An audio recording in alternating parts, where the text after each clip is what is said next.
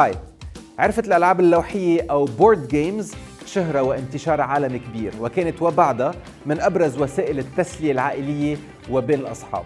المهندس ألفريد موشر بوتس اخترع ال Scrabble لما كان عاطل عن العمل وفكر انها رح تكون وسيلة إلهاء للأمريكيين وسط الظروف الاقتصادية الصعبة يلي كانت سائدة بوقتها. مصدر عبارة عدنا للمربع الأول أو back to square 1 على الأرجح لعبة السلم والحية.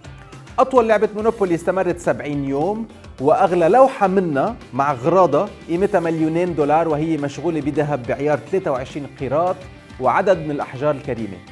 التكلم خلال لعب الشطرنج ممنوع باستثناء عبارة checkmate ومحترفي هاللعبة حافظين بين 100 ألف و 300 ألف نمط لإلها.